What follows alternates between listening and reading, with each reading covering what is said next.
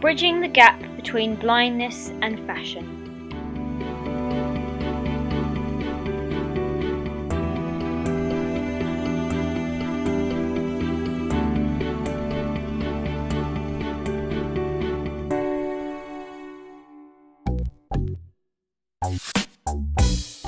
Fashioneyesta's Lush Haul.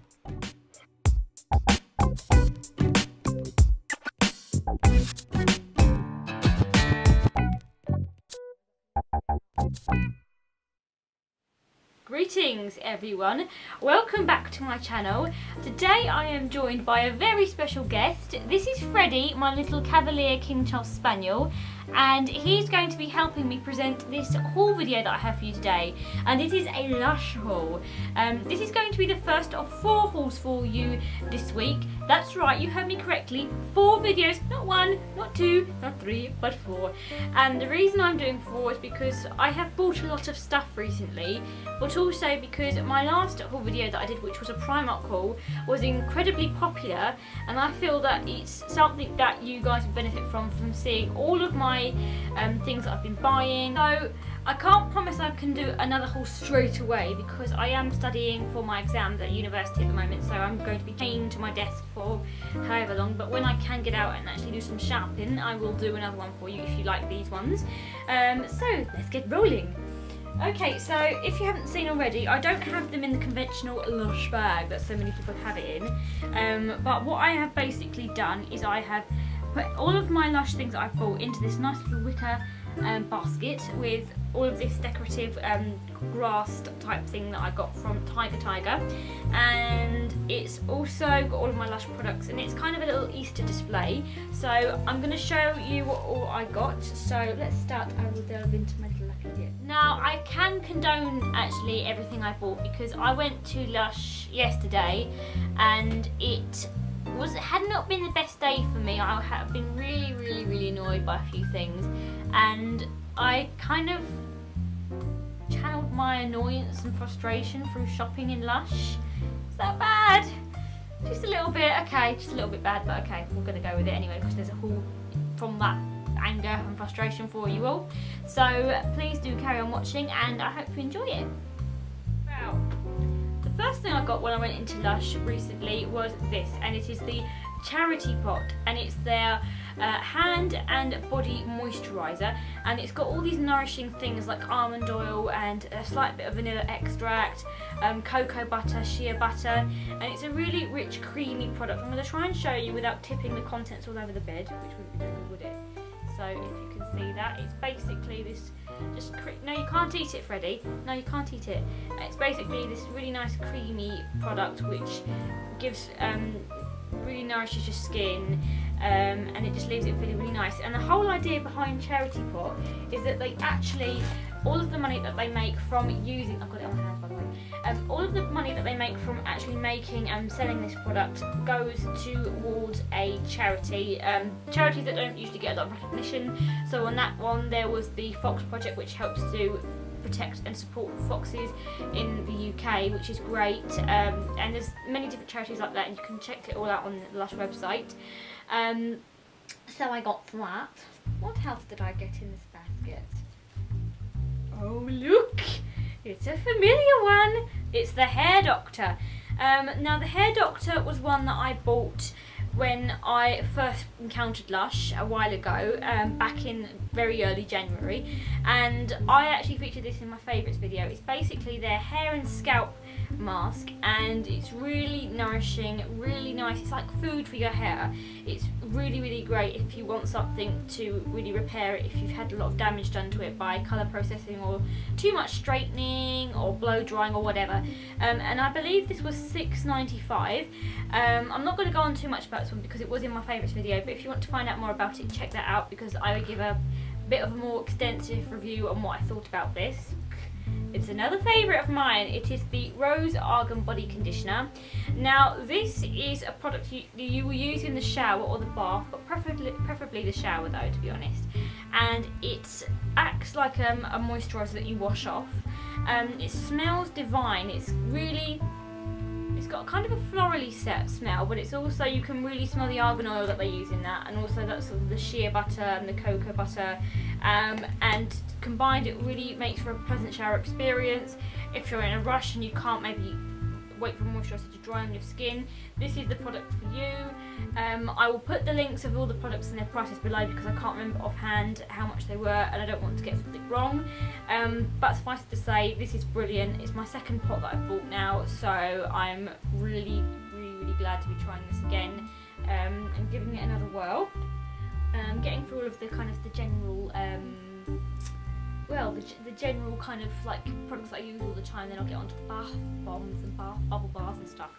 So another product I got was Oatifix, and Oatifix is one of their fresh face masks that they have on offer, and basically it's got oats and bananas, and it smells a little bit like porridge, the soap that they have, but combined with a bit of a more even more oaty smell than that one. So it's really really great. It, it, nourishes your skin. It's one if you've got skin that's a bit more drier or skin that feels really quite um, has patches of quite dry areas and things like that. It works really well for that. Inside actually because I have, I have used a bit of it recently though as has most of my family. And let's move on to something more exciting which is bath bombs isn't it? Yes it's bath bombs and bubble bars and other such things Okay, so this one is the Blue Skies and Fluffy White Clouds. Um, and I recently ran out of this actually. Um, it's my absolute favourite bubble bar. And it's basically, it's got frankincense and patchouli um, extracts in there to um, combine to make this really, really, really um, de-stressing, relaxing bath experience. It really foams up well, it makes lots and lots of bubbles. It's great if you're under a lot of stress like me from doing a degree and having lots of things on my mind and it really helps you settle your mind. And it's one of those products where you're like, I've had a really bad day, I'm really stressed, what can I use in the bath to help with this? You can use this. Um, and it lasts you quite a while. I only use probably about I'd say about a quarter of that actually because it's a really good product. It really foams up well so you don't need a lot of it to um, to make your bath foam nicely. So less is more with this product I'm going to say. So my, my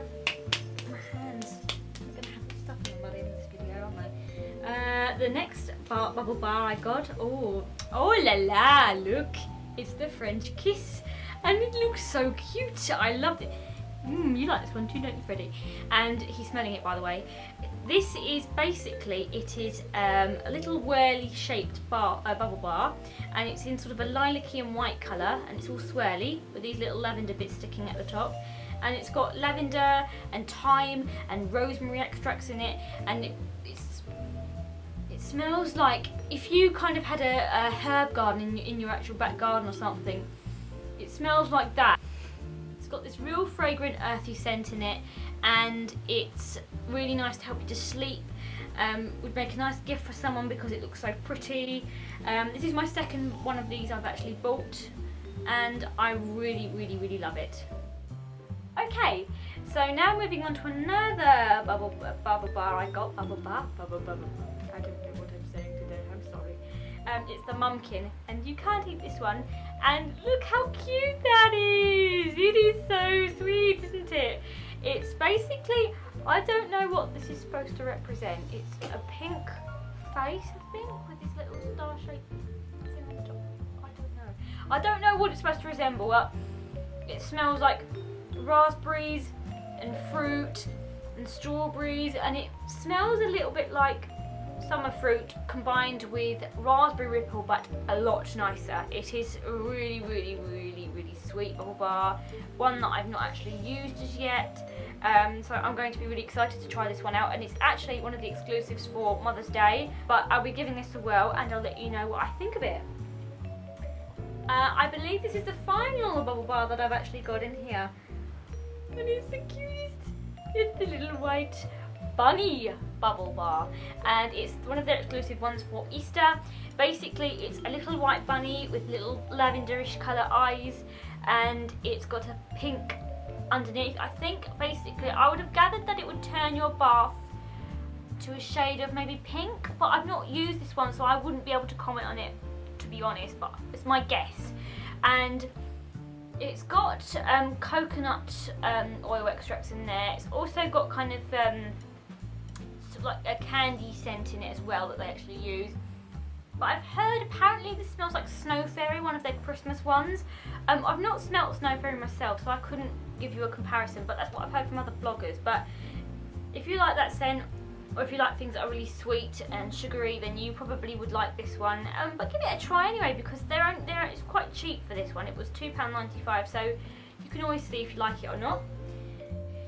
So, moving on to the last few products I've got in here now. This one, what are you doing? Um, this one is the Stepping Stone Foot Scrub, and it's basically a mint green um, foot-shaped product, which is like an exfoliating bar, which is a bit similar to some of their other ones they do, like the um, Aqua Minerals or something. I can't ever pronounce the name of that. And it's basically you can you wet it and you use it to scrub your feet and get rid of all the dead skin. It smells a bit. It smells a little bit like Breath of God, their um, perfume that they do a bit spearminty, a bit minty, really fresh. Um, but I've not used this one before, but anything to improve the state of my disgusting, horrible looking feet that I hate, I am going to buy it. So I will let you know again what I think of that one. Ah! All this stuff. Stop grunting, Freddie. You make all these grunting noises. So another product I got from Lush was this one, and it's the Breath of God perfume, and I think this one is the atomizer. Um, not that I've ever tried any of their perfumes before, but like I said, it smells a bit like that foot scrub I just showed you. But it's got patchouli in there, neroli, it's got kind of spearmint and stuff in that as well. It's very fresh and um, a clean scent. But what I would recommend, this is a very strong perfume and it's one that you need to spray on the skin to let the pH-D balance actually work with the perfume because if you put it on straight away it's very strong. So you need to give this a chance to work. Um, it, this might not be one for everyone because it is quite strong but just try it see what you think. Maybe go into Lush spray it on your arm think about it for a while and then come back and if you like it you can buy it along with anything else you want to buy. And if not at least you've tried it nothing ventured nothing gained so the final product I got in my Lush haul was this. Now I technically didn't buy this last one, um, I was given it as a little goodwill gesture by the lovely girls in the Bromley store because I'm always in there spending my money. And this, I think, it's called the Ice Mint or the Ice Fox or something. It's one of their soaps basically. And it's really minty, really pepperminty, fresh. It smells like something you'd want to have it during the summertime because I have just finished my porridge lush soap that I love but that is one I want to keep for more of a wintry fragrance because otherwise I wouldn't associate it with being something wintry and comforting. So I'm gonna restrain myself and not buy another one until the next winter time which is quite sad. But I have this one to keep me company in the shower now so let's see how this one goes so another thing I got, which I can't actually open and show you, is this um, little interesting mysterious parcel wrapped in this light blue scarf, which Lush actually offer. Basically, you can pay to have a scarf um, and you can have some of your items wrapped up in it and made to look really pretty for a present maybe, or just something really special. So um, it's got some of the bath bombs for Mother's Day for my mummy, but like I said, I can't show you it um, because it's going to spoil the surprise and I know she's always watching my YouTube channel so I don't want to do that um, but check it out because I've got some really great things for Mother's Day um, and I'm sure if your mum likes Lush then she'll be very very happy to receive a little bundle just the same as this one here. Okay so that was the end of my Lush haul. I hope you enjoyed it and I hope you enjoyed having a little four-legged guest but Freddie enjoyed smelling the products didn't you? Hey! So thank you very much for watching. As ever, like and subscribe. Let me know what you thought of this video and see you in the next one. Bye! Bye! So, bloopers. The first thing I got when I... What was that all about? Mm-hmm. Stop putting these faces because I think something's going wrong and then it distracts me. I'm going to start off with this one today. Oh no, Mum! Sorry. Just stop.